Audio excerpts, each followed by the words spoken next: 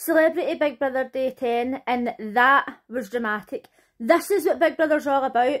This is what Big Brother should be like every single night. Oh, I was loving it. And when they were doing the nominations and everybody was nominating Louis and they were saying, oh, he's lazy, doesn't clean up and all that. And he was like, oh, that's the easy thing to say. Fern stood up there and she was like, oh, he's lazy. It really grinds my teeth. Like, it really annoys me. She was like really getting into it, right? And then when she nominated Ekin-Su, she was so brutal. And she was like, oh, I think she's acting. I think she's wearing a mask and all that. And I was like, yes, Fern, that's how you face-to-face -face nominate. Keep her in. Just for the nominations. Right, Big Brother is supposed to be dramatic. And it doesn't have to be bitching and fighting all the time, right? But it should be interesting. Big Brother UK always lacks the interest for me. That's why Big Brother Australia blows my mind because he's absolutely brutal. He's evil, right? And Big Brother UK, it's just too nice. But tonight, I was like, yes, now we're talking. Ekin-Su stood up there and she's like, oh, I can't do this, I can't do this. And I was like, Fern's right. Like, she's totally acting it. I thought, see if you can't do face-to-face -face noms, why the fuck are you in Big Brother, right? It's different when you get down to, like, the finale or, like, the semi-final and there's hardly anybody left in the house and you're really close to everybody. Aye, okay, it's got to be difficult to do face-to-face -face nominations, but she's not close to every single person in the house and she was just totally acting it. What confused me about Marisha's nomination for Ekin-Su is that she said, if I was in the finale with you, I wouldn't win. You've got a huge following. And I was like, mm, hush you. But she says, you've got a huge following, I wouldn't stand a chance against you because you've played these games before. And I was like, hold on, hold on, hold on. She has not played these games before. She's in Big Brother now, okay? Love Island does not even compare to Big Brother. It's not the same whatsoever, right? And she was saying, if I was against you, you would win. But then when Ekin-Su was upset, and she was saying, oh, I hope you win. And she was like, oh, I don't want to win if you don't want to win, then why would you give a fuck if she was going to win in the, in the final against you then? It didn't make any sense to me. That being said, Ekin-Su's reaction made her look like a complete fanny. You know how when people say when somebody's nasty to you, it's got nothing to do with you and it's more about them? That is what Ekin-Su was showing tonight. She is so embarrassed and insecure about being on Love Island that I actually think she needs counselling because she was crying and she was upset and she was saying, oh, people judge me because I was on Love Island because I was on a stupid show. Aye, it's because of that stupid show that you're now on Big Brother. Do you know how many people would love to be on Big Brother? I'm one of them. It's because of that stupid show that she's got brand deals and she's got a makeup collection and all that. Fuck knows how much money she's made. But yet, all she ever does is talk negative about Love Island and I just don't understand it. Nobody gives a fuck that she was on Love Island. Nobody thinks that it's embarrassing. I certainly don't.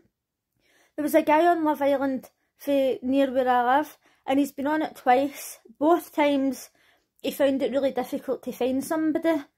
Both times people were saying, oh, he's cringe. Both times he got like near the final and didn't win. And he's not even embarrassed about it. He goes on TikTok with his mum and he talks about his experience and how it's helped his career and how it's helped him like open a gym or become a personal trainer and make loads of money. But Ekin-Su can only see the negative in this and she genuinely needs to get some help. All that crying and being upset that she was doing was such a redneck. I was like, why is she acting like this? Right? Everybody had to nominate face to face, and she's like, oh, this house is full of two faced people. She's the one who's so close to Louis, but yet she nominated Louis. So who's the two faced one? I just, I don't understand her. Then when her and Louis were in the room, and he was absolutely loving the drama, when Marisha nominated her and then she wouldn't give her a kiss, and he's like, oh yes, good for you for sticking up for yourself. And I thought, why does she need to stick up for herself though?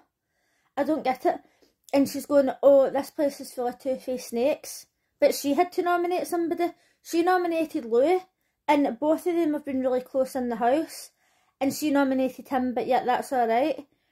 Like, she was just making it a big deal out of nothing. And then she was like, oh, I'm not going to be a crybaby anymore. And I thought, you know what, it's, it's way past that now. You've made such a fucking big deal out of nothing, and everybody's laughing at you and they want you gone, and you're a shite actress. Colson nominated Levi because he says he hurt his feelings when he says he was the most born person in the house, and they two fell in. Anybody who nominated Louis, he did not give a fuck, right? But he, he even said that he was shocked when Nikita and Ekin-Su nominated him because they were really close, but he still didn't greet over it. Fern wasn't moaning. David wasn't moaning. Do you know what I mean? Nobody else who was up for nomination was in the room crying and screaming and making a big deal out of it. And I honestly think that Ekin-Su is going to have to get counselling. Because the more I'm thinking about it, the more I'm just like, in her mind, she's so embarrassed and it's a problem. So there's five people up for nomination and that is David, Louis, Levi, Fern and Ekin-Su. And just in case you can't tell, I hope Ekin-Su goes. Fuck knows what's going to happen when she gets evicted through the house and the presenters even think about bringing up Love Island, she's going to fucking throw a hissy fit. But on the Late and Live show, they were saying that two people's going to go. So I think it might be Ekin-Su and Louis, even though I would kind of like Louis to stay in.